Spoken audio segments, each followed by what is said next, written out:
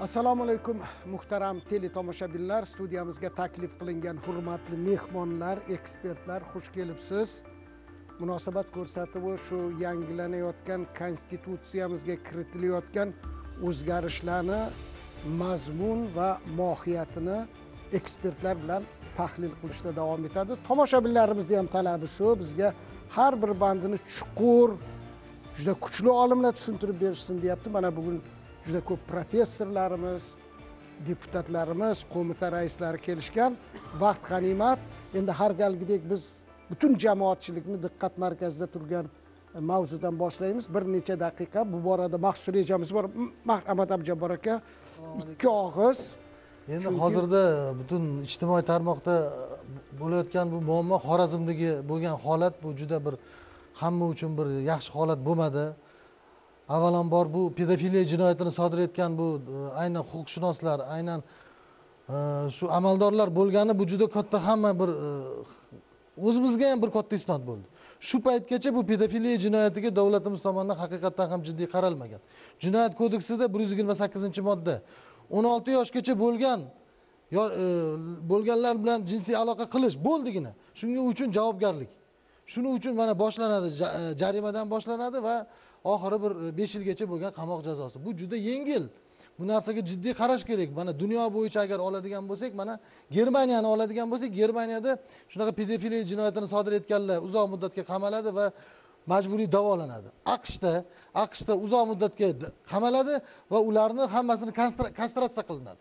Albatta kimyoviy yo'l bilan va e, kastratsiya qilinadi. Bundan tashqari e, xitoyda xitoyda o'lim jazosi a- arab davlatlarida ham o'lim jazosi afrika davlatlarida yoqib yuborilar ekan pedofiliya jinoyatini sodir etganlar bundan tashqari mana qozog'istonni olaylik yaqin qo'shni qozog'istonda uzoq muddatga qamaladi va kastratsiya. Ukraina polsha. Mana ukraina polshada uzoq muddatga qamaladi va ochiq reyestr qiladi. Ya'ni pedofiliya sodir etgan jinoyat sodir etgan odamlarni ochiq reyestr omma ommaga chiqaradi. Mana mana shular pedofiliya jinoyatini sodir etgan. Hamma ko'rib qo'ysin degan ma'noda.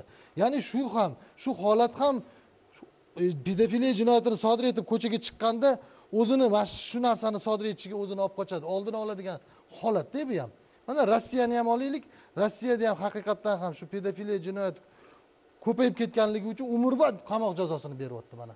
Va reyestr qilib. Mana hozir o'zimizda e, oliy majlis deputatlari va senatning hozirda aynan shuni loyihaga kiritib aynan shuni reyestr qilish masalasi va hattoki kastratsiya qilish masalasini hozir mana loyihaga kiritish degan masalasi ko'tarildi va yana bir e, narsani bir xursand bo'lib aytmoqchimanki mana bosh prokuratura ham hozir shu holatni shu holatni hozir alohida nazoratga olib e, kassatsiya tartibida protest protest berish berishgan va hozirda bu e, ma'lumotlarga qaraganda shu jinoyat sodir etgan shaxslar hibsga olingan. Ho'p katta rahmat. Endi bu judayam mudhish jinoyat. Mudhish.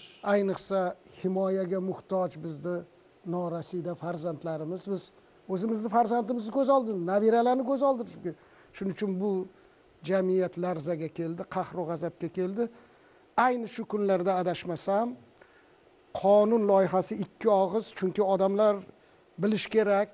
Bunga qanaqa tezkor munosabat bildirilyapti va man keyin aytaman biz erta indin bu mavzuga bag'ishlab alohida ko'rsatuv qilamiz chunki mavzularimiz oldindan belgilangan. Shuning uchun ekspertlar ikki og'iz marhamat. Haqiqatdan ham mana yaqindagina aynan shu e, mavzu ya'ni shu yo'nalishdagi jinoyatchilik zo'ravonlik masalalarga masalalariga nisbatan e, jazo qo'llash oliy majlis qonunchilik palatasida qonun ko'rib chiqildi muhokama qilindi mana ko'pchilikni xabari bor adashmasam va bugun e, shu qonun e, nima loyihasi qonun senatda kun tartibida turibdi. Biz o'ylaymizki bugungi hozirgi muhokamalardan kelib chiqib yana o'sha aynan yuqorida aytilayotgan kuchaytirish normalari qonunchilikda ham palatada ancha muhokama bo'ldi. Chuqur muhokamalar bo'ldi. O'sha xalqaro tajribadan kelib chiqib uni kuchaytirish qattiq jazo choralarini qo'llash uzoq muddatli umrbod jazo qo'llash masalalari ko'rib chiqilgan lekin bizda mana uzoq muddatli jazo chorasi ko'rilgan. Endi hozir senatda ko'rilsa agar balkim yana qaysidir qo'shimchalar bo'lar. Ho'p endi hozir bobur aka e, biz bu juda jiddiy mavzu. Bu shunchaki bir to'xtalib o'tib ketadigan mavzu emas. Birinchidan biz ishonamiz. Deputatlar senatorlar xalqimizni talabini xohish irodasini albatta inobatga oladi. Boshqa yo'l yo'q. Ikkinchidan biz sizlarni hammangizni man ertaga telefon qilaman bafurja bir soat bo'lsa bir soat ikki soat bo'lsa ikki soat buni batafsil muhokama qilamiz. Nafaqat bolalar huquqi ayollarni huquqi ayollarga nisbatan zo'ravonlik bolalarga nisbatan zo'ravonlik voyaga yetmaganlarga nisbatan mana unaqa fahsh jinoyatlarini batafsil muhokama qilamiz. Endi bugungi mavzuga o'tsak marhamat hurmatli ekspertlar xalqimiz kutyapti qani yangilanayotgan konstitutsiyamizda xalq munosib hayot kechirish uchun qanaqa nima deydi mehnatga munosib haq to'lanadi. Marhamat mana e, ha? Boshlasa bo'ladi marhamat marhamat. Haqiqatdan ham mana shu konstitutsiyada e, aholiga munosib mehnati uchun haq to'lash masalasi alohida belgilab qo'yilganki bu asosan qirq ikkinchi moddada o'z ifodasini topgan. Ya'ni eng minimal haqdan boshlanadi bu narsa va u o'sha to'lanayotgan haq insonni yashashi hayot kechirishi uchun yetarli darajada bo'lishi kerak. Mana misol uchun ikkita jihat borda. Aholini ijtimoiy himoya qilishda uning minimal ehtiyojlarini qoplash bo'yicha nafaqalar joriy etilgan. A mehnat qilgan shaxs uchun esa uning hayot kechirishi uchun munosib darajada haq olishi kerak degan masala mazmuni shundan kelib chiqyaptida. Ikki xil nafaqa oluvchi bola bor. Ularni hammasi munosib hayot kechirishi kerak. Lekin umuman olganda mehnat qiluvchi ko'proq farovon hayotga o'ziga daromad nuqtai nazaridan asos yaratib berishi kerak. Mazmuni shu bilan belgilanadi. Ya'ni kim yaxshi mehnat qilsa bozor uchun uning qilgan mehnati tan olinsa va shuning haqqi to'lansa unga munosib ish haqi to'lanishi kerak. Mana e, o'sha konstitutsiya belgilab qo'yaptiki e, minimal ish haqi mehnat haqi to'lashni eng kam miqdor darajasi. Bu hozircha to'qqiz yuz sakson ming so'm tashkil etadi birinchi apreldan boshlab. Va bu bu bazaviy hisob. O'sha bazaviy hisobdan kelib chiqib bu, e, o'sha haq mehnatga haq to'langanda e, shu asos qilib olinadi lekin mehnatning darajasiga qarab biz mehnatni ikkiga bo'lamiz quddus aka? Oddiy mehnat bor murakkab mehnat bor. Ya'ni ma'lum bir injener mutaxassislik aql bilan ish qiladigan bunga o'qituvchilar hammasini oladigan bo'lsak murakkab mehnatda bularniki qoida bo'yicha murakkab mehnat yuqori haq to'lanishi kerak va biz shu narsaga qarab ketyapmiz hozir. Bu narsa konstitutsiyada ham o'z ifodasini marhamat endi odamlar juda ko'p savollar bilan murojaat qiladi. Hozir amalda qandayu keyin qanday bo'ladi shuni bir umid bilan kutyapmiz bizga. Xalqona oddiy qilib tushuntirib bersangiz mana haligi nima deydi? O'zingiz bilasizku endi qancha oshadi nima bo'ladi? Munosib hayot. Marhamat. Real qaraydigan bo'lsa aynan yangilanayotgan konstitutsiyada ham aynan qirq ikkinchi moddasida mehnatga haq to'lashni o'shaga bag'ishlangan bir yangi normalar kirayotganini ko'rishimiz mumkin. So'nggi yillarda o'zbekiston iqtisodiyotida keskin o'zgarishlar yuzaga keldi. Birgina yalpi ichki mahsulotni keskin oshishi tashqi savdoni keskin oshishi yoki ko'plab e, korxonalarda tashkilotlarda davlat idoralarida mehnatga haq to'lashi yangicha yondashuv asosida keskin oshish kuzatildi. Mana kechagina e, xabarimiz bor e, farmon chiqdi mehnatga haq to'lash yana yetti foizga oshdi. Lekin shu bilan birgalikda oziq ovqat narxini saqlab qolish uchun undan uch to'rt kun oldin boshqa bir farmon chiqdiki u o'sha e, o'ttiz olti xil turdagi oziq ovqat mahsulotlarini kirishini ya'ni nollashtirilgan boj puli bilan olib kirish. Mana bu mehnatga haq to'lashi real oshish sanaladi. Misol uchun oldinlari yigirma foiz oshilardi yo o'n besh foiz oshilardi lekin parallel ravishda bozor yigirma o'ttiz qirq foizga oshilardi.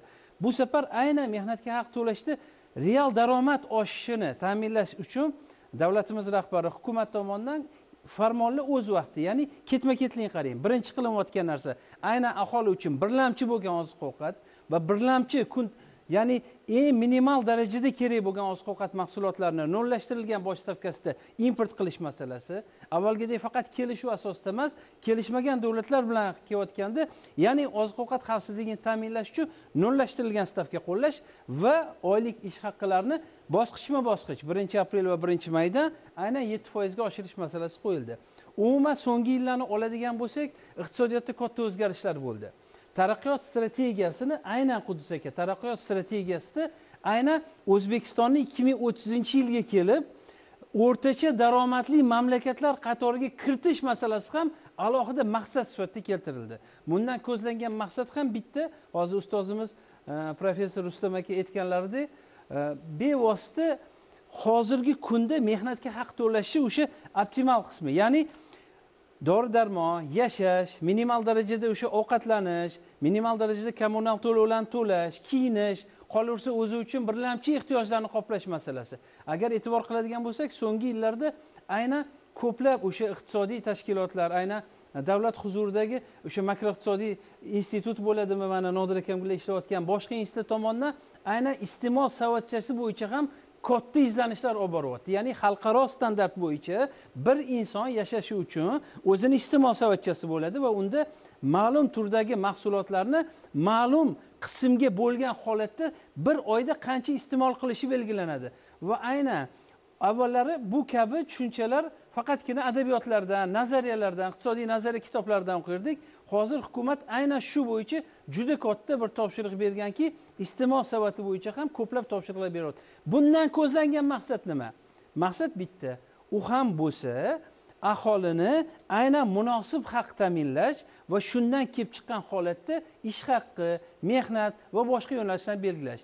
Agar avvallari tahlil qiladigan bo'lsak esimizda bor e, misol uchun oliy ta'limga o'qish ham qiziqishi qudus aka yo'q kutgan holatlar bo'lgan edi esingizda bo'lsa. To'g'ri, to'g'ri. bunga asosiy sabab e, ya'ni e, misol uchun o'qituvchilarni e, umuman professor o'qituvchilarni ish haqi kerak bo'lsa oddiy xizmat ko'rsatuvchi tarmoqdagi xodimlarni ish haqidan ancha pasayib ketgandi Pasayib lekin so'nggi yillarda aynan o'qituvchilarniki. Albatta bu narsa sezilgan edi va mana so'nggi yillarda aynan bozor qonunlari asosida o'sha talab taklif bo'ladimi qiymat qonuni bo'ladimi pul muomalasi qonuni bo'ladimi raqobat qonuni bo'ladimi? Buni asosida sekin sekin barcha narsalar o'z joyiga tushishi natijasida aynan ilmiy darajasi borlarga e'tibor alohida qaratildi. Kerak bo'lsa karra karra ularni ish haqqi maoshi oshirildi va sekin asta barcha davlat strukturasi bo'ladimi yoki bo'lmasa aynan e, boya yuqorida ta'kidlab o'tilgandek injener sohalari bo'ladimi? Ya'ni muhim aqliy sohalarda albatta munosib oylik berish bo'yicha ko'plab islohotlar amalga oshirilyapti. Maqsad nima? Aynan qirq ikkinchi moddani yangi normalar kiritishda maqsad shundaki mehnatga haq to'lashi eng kam miqdori insonni munosib turmush darajasini ta'minlashga qaratilgan norma. O'zi umuman konstitutsiyani tahlil qiladigan bo'lsak quddus aka konstitutsiya so'nggi yigirma yil ichida yuzga yaqin davlatda o'zgarish qo'shimchalar kiritildi. Nega? chunki konstitutsiya bu inson tomonidan yozilgan kitob. Vahiy bo'lib kelmagan va jamiyat bilan davlat o'rtasidagi munosabatni tartibga soladigan qonun. Va barcha qonunlar farmonlar qarorlar aynan konstitutsiyaga munosib tarzda qilinadi. Va konstitutsiya dogma emas. Masalan yigirma o'ttiz yil o'tib balki milliy valyuta bo'lib ketar demakki yana konstitutsiyada o'sha e, moliya bank soliq qismiga balki o'sha kriptovalyutaga o'xshash modda kiradi. Bu normal holat. Ya'ni jamiyat rivojlanar ekan insoniyat rivojlanar ekan iqtisodiyot kattalashar ekan albatta konstitutsiyani barcha normalari barcha moddalari shunga munosib ravishda talabga javob berishi kerak. Va aynan qirq ikkinchi moddada ham munosib haq to'lash va kasb faoliyat turini erkin tanlash xavfsizlikni tanlash hamma hammasi ya'niki bunda zaruratni ko'rishimiz mumkinki davlatni bosh maqsadi bitta. U ham bo'lsa munosib haq to'lash orqali aholi farovonligini kerak bo'lsa inson qadrini ulug'lash masalasi yotganini ko'rishimiz mumkin. Katta rahmat. Mana endi oydinlasha boshladi. Hozir qisqacha reklamamiz bor. Undan keyin hammani qiziqtirgan o'sha nima deydi iste'mol savodchasi qancha bo'ladiyu? Va unga agar davlat munosib ish haqi to'lasa bu endi ko'pchiligimiz shuni kutgan masala yechimini topadi. Marhamat.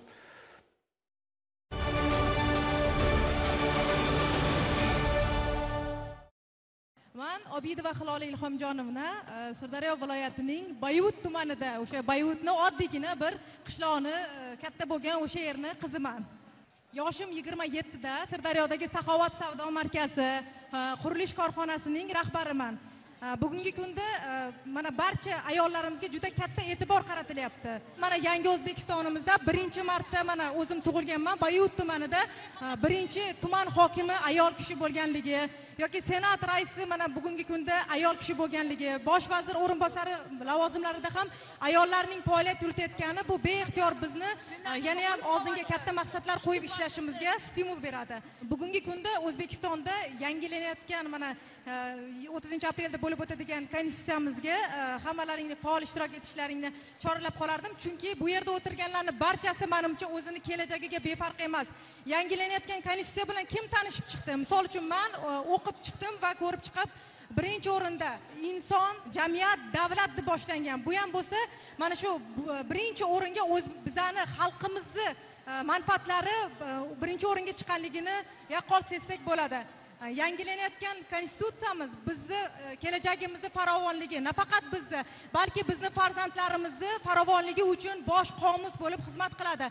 Xususan unda e, sog'liqni saqlash bo'yicha ayollarimiz bo'yicha nogironlar bo'yicha ularni huquqlarini ham himoya qiladigan bandlar ko'rsatib o'tilgan. Tadbirkorlik faoliyati bilan shug'ullanaman. Mana e, ko'pchilik hozir oxirgi yillarda katta katta tadbirkorlarimiz katta katta yo'llarda rahbar ayollarimiz ko'payib boryapti. Bu ham bo'lsa davlatimiz rahbari tomonlaridan mana shu ayollarimizni qo'llab quvvatlayotganligi nafaqat ayollarimizni barcha tadbirkorlarimizni qo'llab quvvatlayotganligini e, natijasi deb o'ylayman. E, ikki ming yigirma uchinchi yil e, yettinchi mart kuni zulfiya nomidagi davlat mukofoti sovrindori bo'ldim. E, albatta bu men uchun judayam katta bir e'tibor deb bilaman. Barchalaringni mana shu yangilanayotgan konstitutsiyamizni o'ttizinchi aprelda bo'lib o'tadigan referendumga faol ishtirok etishlaringni chorlab qolardim.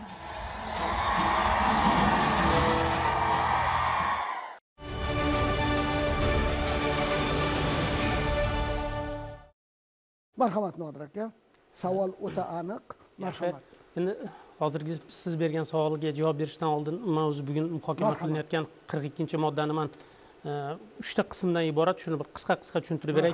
Chunki asosiy masala bitta narsaga urg'u berib qolmasin chunki bugungi e, ko'rsatuv asosiy maqsadi shu qirq ikkinchi moddaga kiritilayotgan o'zgarishlar demak yangi moddalar bularni o'sha kelajakda e, aholimizni turmush darajasida munosib hayot kechirishida e, qanaqa muhim ahamiyatga ega ekanligini e, ochib keyin shu sizni savolingizga o'tsak.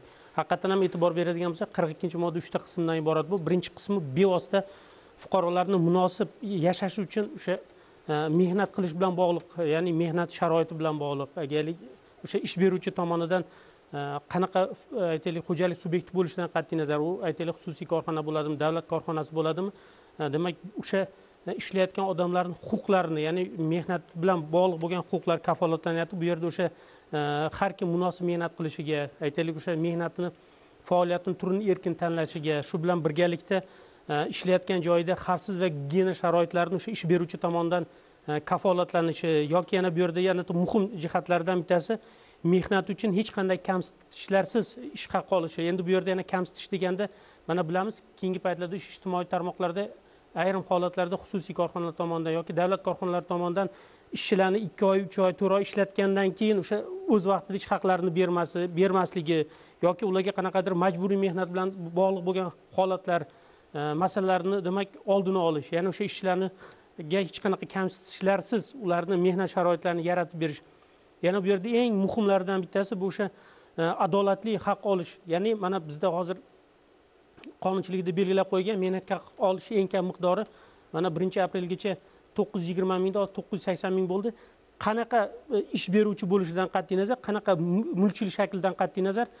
E, demak endi bundan buyog'iga agar o'sha konstitutsiyamiz demak o'sha referendumda amalga oshib shu moddalar amaliyotda o'z isbotini topadigan bo'lsa demak o'sha ishchiga to'lanadigan ish haqi o'sha qonunda belgilab qo'yilgan mehnat haq to'lash eng kam miqdordan kam bo'lmasligi belgilab qo'yiladi bu e, mana shu e, qirq ikkinchi moddani birinchi qismi. Ikkinchi ikkinchi qismi nodir aka yana bir marta to'g'ridan to'g'ri har xil ish beruvchilar borda ba'zan telefon qiladi besh yuz ming beradi to'rt yuz ming beradi olti yuz ming beradi shuni mana endi qarang. Aniq va ravshan ayting. Bu yerda mana qonun doirasi marhamat. juda yam to'g'ri savol berdingiz mana qirq ikkinchi moddanida e, ish beruvchi va mehnat qiluvchini huquqlari davlat kafolatlayapti endi ish beruvchinikini man aytib o'tdim? Munosib mehnat sharoitlari yaratib berishingiz xavfsiz gigiyena qoidalariga rioya qilish uni majburiy mehnatga jalb qilmaslik aytaylik va shunga o'xshaganlar. Endi e, ish beruvchiga yana bitta muhim majburiyat yuklanyapti. Mana hozir bizni qonunchiligimizda birinchi apreldan boshlab e, minimal ish haq ya'ni o'sha e, ish haqi to'lashi minimal ish haq e, miqdori to'qqiz yuz sakson ming qilib belgilandi. Siz e, Э, ish beruvchisiz. Mana shu- bizda shunaqa holatlar bor. Э, ba'zi holatlarda mavsumiy ishlar bilan bor yoki aytaylik kunlik ishlar bor. Nima bo'lgan taqdirda ham shu bu yerda e, belgilanayotgan narsa eng kam ya'ni o'sha mehnatga haq to'lashning belgilangan miqdoridan kam bo'lmasligi kerak. to'qqiz yuz sakson mingdan kam bo'lmasligi kerak. Qanaqa mulkchilik shaklidan qat'iy nazar ish haqi beradigan bo'lsa to'qqiz yuz sakson mingdan kam endi ish haqi bermaydi. O'sha siz aytgan besh yuz ming olti yuz ming yetti yuz ming xo'jalik subyekti bo'lishidan qat'iy nazar.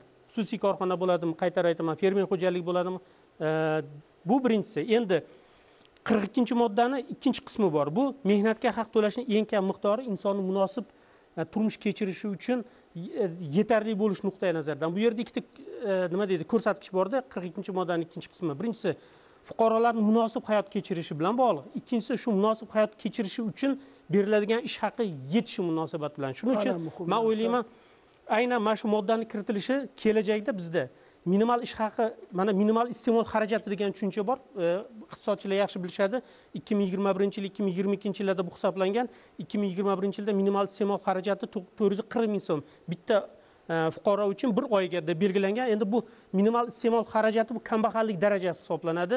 E, kambag'allik darajasi bilan munosib hayot kechirish bir biridan farqi bor. Munosib hayot kechirish umuman rivojlangan mamlakatlarda o'sha iste'mol savatchasi bilan bog'liq e, minimal iste'mol xarajati kambag'allik darajasi bilan bog'liq. Mana e, ustozimiz ham yaxshi biladilar jahon bankini hisob kitoblari bo'yicha umuman dunyo amaliyotida kambag'allik darajasi bitta fuqaro uchun bir o'ndan to'qqiz dollar qilib belgilangan. Bir kunga bir o'ndan to'qqiz dollardan kam topadigan bo'lsa u kambag'al hisoblanadi. Kambag'al darajasi kuniga bir o'ndan to'qqiz. Xalqaro jahon bankini shunaqa metodologiyasi bor. Bizda ham shu e, chunki mana nima uchun xarajatmi bir kishiga bir bir kishiga bu kambag'allik darajasi degani bu bitta fuqaroni fiziologik kun kechirish uchun kerak bo'ladigan narsalarda. Endi bu ikki ming yigirma ikkinchi yilda bu narsa e, to'rt yuz to'qson sakkiz ming so'm qilib belgilandi. Endi juda ko'pchilik holatlarda o'sha munosib e, e, nima deydi? Turmush darajasi bilan minimal iste'mol xarajatlarini ko'pchilik haligi adashtirib qo'yadi. Bu boshqa boshqa. Munosib o'sha minimal iste'mol xarajati bu bitta insonni e, nima deydi? O'sha man qaytarib aytaman kambag'allik darajasini belgilaydigan narsa. Endi e, munosib ish e, yoki munosib turmush darajasi u umuman boshqa. Bitta odamni jamiyatda bemalol hayot kechirishi bola chaqasini boqishi uchun kerak bo'ladigan narsalar. Bu rivojlangan mamlakatlarda turlicha qilib belgilangan. Mana masalan o'sha amerika qo'shma shtatlarida shunaqa qonun bor ekan qanaqa bo'lishidan qat'iy nazar mana ellikka yaqin shtati bo'lsa bir soatiga yetti dollar yigirma besh sentdan kam To'lash mumkin emas. to'lash mumkin emas. Shunaqa qilib belgilab qo'yilgan. yoki masalan turli xil shtatlarda shunaqa. Shundan kelib chiqib o'sha hozir biz ko'rgan ko'rganimizda amerika qo'shma shtatlarida turli xil shtatlarda sakkiz dollardan o'n uch dollargacha qilib belgilangan soatiga. O'sha eng mana e, rustam akam aytmoqchi o'sha malaka talab qilmaydigan oddiy ishlar uchun to'lanadigan bu. O'sha nima uchun? Ishchi bir oyda olgan ishi munosib hayot kechirish uchun yetarli bo'lishi kerak. Endi uni tarkibi bor. Mana masalan buyuk britaniyanikini yoki germaniyanikini amerika qo'shma shtatlarini olsangiz u mamlakatlarda shu e, minimal iste'mol xarajatlari ya'ni aholini munosib fuqaroni munosib hayot kechirishi uchun kerak bo'ladigan mahsulotlar miqdori uchga bo'lingan e, oziq ovqat mahsulotlari nooziq ovqat mahsulotlari va xizmatlar. Mana mana shuni uchalasi qo'shiladida uni ichi tarkibida aytaylik o'sha e, adashmasam amerika qo'shma shtatlarida uch yuzga yaqin buyuk britaniyada uch yuz ellikka yaqin shunaqa mahsulotlar kiritilgan. Даже buyuk britaniyada minimal iste'mol savatchasiga ya'ni munosib hayot kechirishi uchun e, bitta fuqaroni bir, bir oyda futbolga borish bitta bileti ham qo'shilar ekan yoki teatrga ham borish. Endi